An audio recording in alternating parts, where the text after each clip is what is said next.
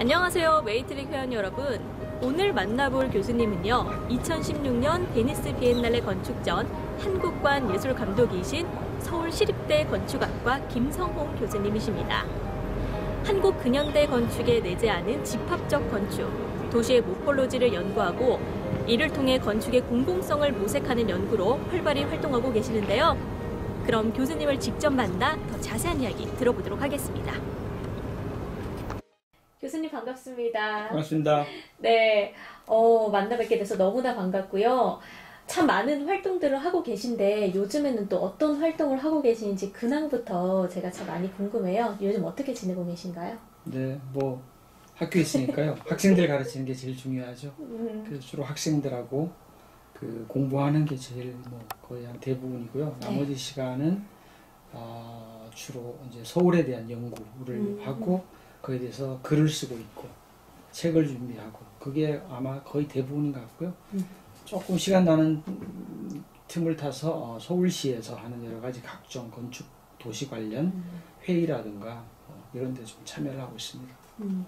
또 교수님 하면 또 베니스 비엔날레 건축전을 또 빼놓을 수가 없어요. 또 베니스 비엔날레 건축전은 또 전 세계 건축의 흐름을 또 한눈에 볼 수 있는 전시인데 여기서 또 한국관 예술 감독을 또 맡으셔서 거기서 제 용적률 게임이란 전시로 사회 이목을 좀 집중을 시키셨는데 용적률 게임이란 어떤 것인지 어떤 의미를 담고 있는지도 궁금합니다. 좀 음. 알려주세요. 네. 그러기 전에 그 베니스 비엔날레에서 간단히 좀 음. 설명을 드리면 전 세계에 비엔날레라고 하는 게 한 수백 개가 있어요. 네. 우리나라만 하더라도 열 몇 개가 있을 거야. 아마. 음. 근데 그 중에서도 베니스 비엔날레가 가장 오래됐기 때문에 가장 명성이 있죠. 그러니까 비엔날레라고 하면 2년에 한 번씩 열리는 일종의 예술 행사를 말하는데 이제 거기서 전 세계에서 벌어지는 여러 가지 예술 활동이라든가 음. 앞으로의 전망 혹은 이슈 이런 것들을 갖다 놓는 플랫폼이 비엔날레라고 할 수 있어요. 그런데 이제 베니스 비엔날레는 이제 짝수에는 건축, 홀수에는 미술 매년 영화제가 열려요. 어. 그래서 제가 2016년에 한국관 예술 감독을 맡았었습니다. 그런데 이제 비엔날레는 어떻게 인식으로 운영이 되냐면 그 해의 총 감독이 주제를 정하고 음. 그 주제에 따라서 각 국가 간에 그 주제에 맞는 전시를 이제 요청을 하면 그렇게 해서 전시를 하는 방식이거든요. 이제 2016년에 총 감독이 칠레의 에, 건축가인 알레한드로 아라베나라고 하는 건축가였어요. 음. 근데 그 사람이 내건 주제가 Reporting from the Front. 그러니까 전선에서 알리다. 그러니까 어, 당신 나라에 혹은 당신이 일하고 있는 곳에서 건축의 전선은 무엇이냐. 음. 그걸 우리한테 리포트를 해달라. 그리고 우리가 같이 공유하자. 이게 바로 그 알레한드로 아라베나 감독이 걸었던 주제거든요.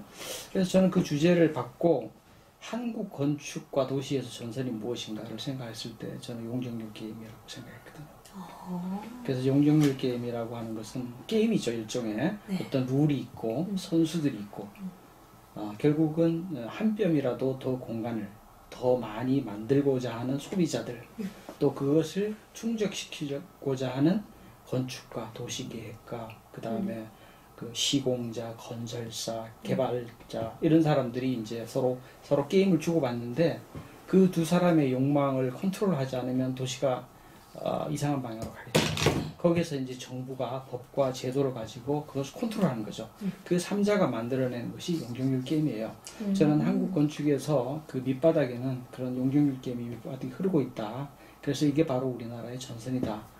라고 하는 것을 이제 전 세계 건축 혹은 도시 를 하는 그런 사람들과 공유하고 싶었고 더 나아가서는 이제 갖고 들어와서 국내에 있는 사람들한테도 사실 우리나라의 건축이 아름다운 건축을 만드는 그런 그 이면에는 그러한 아주 치밀한 치열한 경제 아, 이런 게임들이 숨어 있다라고 하는 것을 공유하고 싶었고 그게 이제 전시를 만든 게이 용중 용적률에 대한 교수님이 또 공간과 건축에 대한 인간의 욕망을 또 압축적으로 드러내는 개념이라고 음. 표현을 해 주셨잖아요. 그렇다면 조금 더 나은 공간을 만들기 위한 음. 또 해법이 있다면 어떤 게 음. 있을까요? 용률이라고 하는 단어가 네네. 쉬운 단어는 아니에요. 아 그렇죠. 그렇죠. 아주 전문적인 용어잖아요. 네. 도- 도시계획 혹은 부동산 음. 건축하는 사람들만 알고 있는 일종의 산식이거든요. 그런데 우리나라에서 검색을 해보면 어, 용적률이라고 하는 것을 검색해 보면 한 10만 건 정도 기사가 떠요. 그만큼 이제 우리나라 사람들한테 굉장히 밀접하게 자기하고 관련이 있는 거죠. 자기의 어떤 재산 증식이라든가 이런 거와 밀접한 관련이 있는 거죠.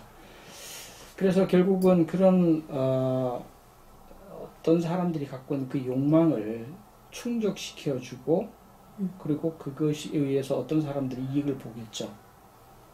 그런데 도시라고 하는 것은 누군가 이익을 보게 되면 누가 누군가는 또 손해를 보게 되겠죠.